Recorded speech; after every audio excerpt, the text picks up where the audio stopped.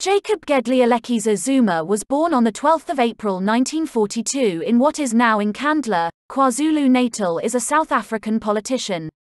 He was the President of South Africa from 2009 to 2018. In the 1960s, he was against the government of South Africa's policy of apartheid. He spent some time in prison on Robben Island for conspiring to overthrow the government. On 14 February 2018, South Africa President Jacob Zuma resigned for a disputed disagreement instruction with the ruling African National Congress. In 2005, he was charged with rape but he was found not guilty. One of their traditions he follows is polygamy, having more than one wife. He has had six wives, one of them killed herself in 2000, and has fathered more than 20 children. Zuma was the person to tell the public on 5 December 2013 that Nelson Mandela had died. On the eve of the African National Congress having a vote of no confidence against him, Zuma resigned. A few weeks after he resigned, it was reported that he fathered a child with a 24 year old woman in a Durban hospital. On 29 June 2021, Zuma was sentenced to 15 months in prison for not showing up to court over his corruption trial. Zuma began engaging in politics at an early age and joined the African National Congress, ANC, in 1959. He became an active member of Umkhonto we Sizwe in 1962, following the South African government's banning of the ANC the previous year. That year, he was arrested with a group of 45 recruits near Zeerust in the Western Transvaal, currently part of the Northwest Province. Convicted of conspiring to overthrow the apartheid government, a government led by the white minority, Zuma was sentenced to 10 years imprisonment, which he served on Robben Island with Nelson Mandela and other notable ANC leaders also imprisoned during this time. Whilst imprisoned, Zuma served as a referee for Prisoners Association football games, organized by the prisoners' own governing body, Makana FA after his release from prison, Zuma was instrumental in the re-establishment of ANC underground structures in the Natal province. During this time Zuma joined the African National Congress's Department of Intelligence where he later became the department's head of intelligence. Zuma first left South Africa in 1975, and met Thabo Mbeki in Swaziland, and proceeded to Mozambique, where he dealt with the arrival of thousands of exiles in the wake of the Soweto uprising. He became a member of the ANC National Executive Committee in 1977. He also served as Deputy Chief Representative of the ANC in Mozambique, a post he occupied until the signing of the Inkomati Accord between the Mozambican and South African governments in 1984. After signing the accord, he was appointed as chief representative of the ANC. He served on the ANC's Political and Military Council when it was formed in the mid-1980s, and was elected to the Politburo of the SACP in April 1989. In December 1986, the South African government requested Mozambican authorities expel six senior members of the ANC, including Zuma. As a result of the pressure applied by the apartheid government on Mozambique, he was forced to leave Mozambique in January 1987. He moved to the ANC head office in Lusaka, Zambia, where he was appointed head of underground structures and shortly thereafter chief of the intelligence department. Zuma was also a member of the South African Communist Party, SACP. He joined in 1963, briefly serving on the party's Politburo, and left the party in 1990. Following the end of the ban on the ANC in February 1990, Zuma was one of the first ANC leaders to return to South Africa to begin the process of negotiations. In 1990, he was elected chairperson of the ANC for the Southern Natal region and took a leading role in fighting political violence in the region between members of the ANC and the Inkatha Freedom Party, IFP. He was elected the Deputy Secretary General of the ANC the next year, and in January 1994, he was nominated as the ANC candidate for the premiership of KwaZulu-Natal. The IFP, led by Mangosuthu Buthelezi, put particular emphasis on Zulu pride and political power during this period. In this context, Zuma's Zulu heritage made his role especially important in the ANC's efforts to end the violence, to emphasize the political, rather than ethnic, roots of the violence, and to win the support of Zulu people in the region.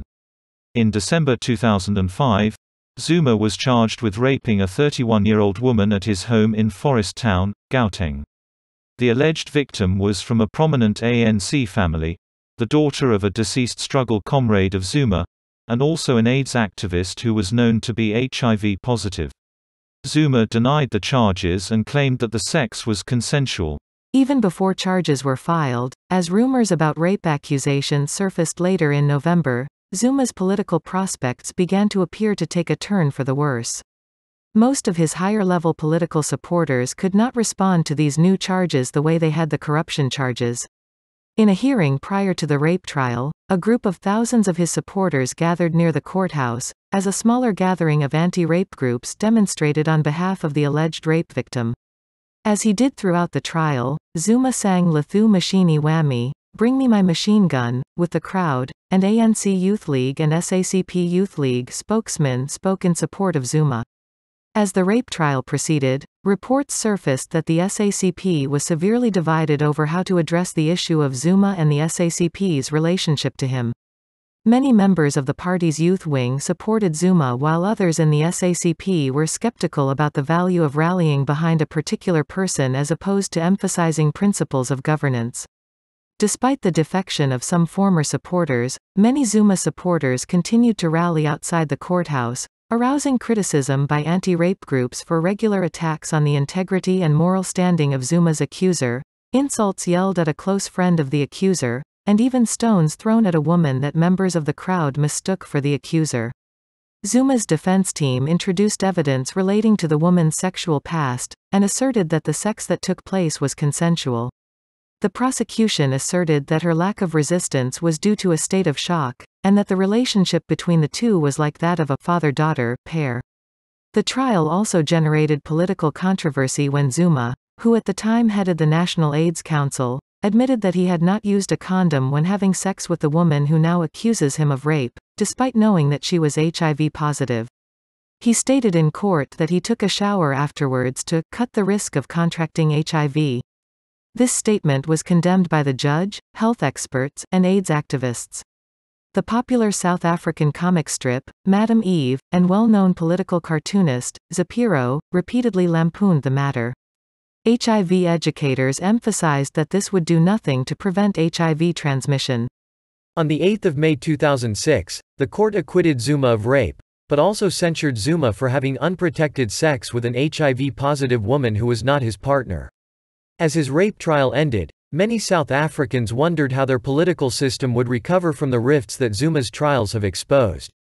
On 14 June 2005, President Thabo Mbeki removed Zuma from his post as deputy president due to allegations of corruption and fraud related to the 5 billion weapons acquisition deal by the South African government in 1999.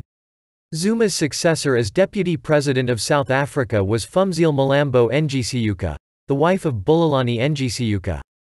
Mlambo-Ngcuka had been Minister of Minerals and Energy since 1999.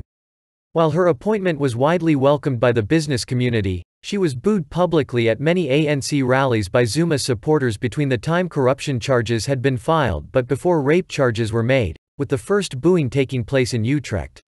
In September 2008, the breakdown in the relationship between the ruling ANC and its presidential appointee, Thabo Mbeki, reached a tipping point, with the ANC NEC's decision to recall Mbeki.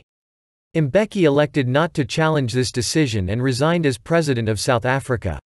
The ANC announced that the party's deputy president, Kgalema Motlanthe, would become president until 2009 general elections, after which it was intended that Zuma would become president.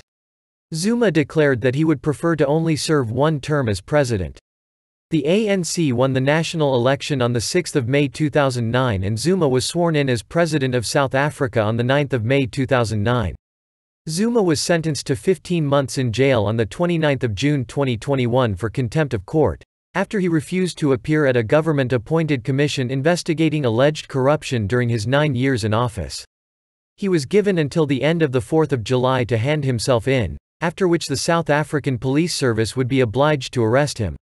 However on 3 July, the court agreed on to hear his application on 12 July. If Zuma refused to surrender by 4 July, The police were given till the 7th of July to arrest him. Supporters had gathered near his home with weapons to stop his arrest, but he handed himself over to the police on the 7th of July, and was jailed at the Estcourt Correctional Center. Zuma challenged his detention on the 9th of July in the Peter Pietermaritzburg High Court on grounds of health, but it was rejected. His arrest led to violent protests by his supporters, who dubbed their campaign as Free Jacob Zuma and shut down KZN in the KwaZulu-Natal province. The protests later spread to Gauteng province. Jacob Zuma is a polygamist who has been married six times. In 2012 the Daily Telegraph estimated Zuma to have 20 children, whereas The Guardian in 2014 stated he had 21.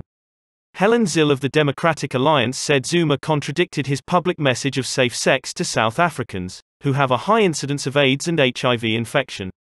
She said it was wrong to say it was purely a private matter, and elected public officials had to embody the principles and values for which they stand.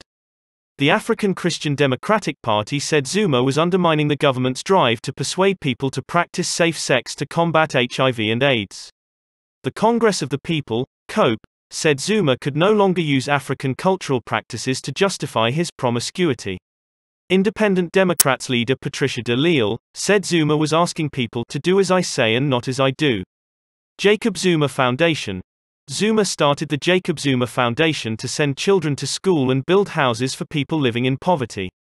The former chairperson of the foundation is Dudu Myeni, who was also the chairperson of South African Airways. She resigned her memberships of the boards of directors of these and other bodies because she was declared a delinquent director for life in May 2020 by the Pretoria High Court. Awards Nelson Mandela Award for Outstanding Leadership from the Medical University of South Africa, awarded in Washington, D.C., 1998. During a visit to the United Kingdom in 2010, Jacob Zuma was made an honorary Knight Grand Cross of the Order of the Bath. Imo Merit Award, the highest award in the Imo state of Nigeria, conferred on those who have made a difference in the development of their communities. The 15th of October 2017, statues, statue of Jacob Zuma in Owerri, Imo State, Nigeria Nigeria's Imo State unveiled a statue of Jacob Zuma on the 15th of October 2017. Honorary degrees. University of Zululand, 2001, Honorary Doctor of Administration. University of Fort Hare, 2001, Honorary Doctor of Literature, Letters. Medical University of Southern Africa, 2001, Honorary Doctor of Philosophy. University of Zambia, UNZA, Great East Campus, 2009, Honorary Doctor of Law. Peking University, 2012, Honorary Professor of International Relations. Other honors. Mr. Zuma was also invested with a chieftaincy title, that of the Ochiaga of Imo, during his trip to the Kingdom of Eze Samuel Ohiri of Imo on the 15th of October 2017. Filmography the Passion of Jacob Zuma, 2009 French documentary by Jean-Baptiste Dusseo and Matthew Nyong'o. Motherland, 2010 documentary directed by Owen Alik Shahadah. Biography taken from Wikipedia. Please subscribe to my channel. Thanks for watching.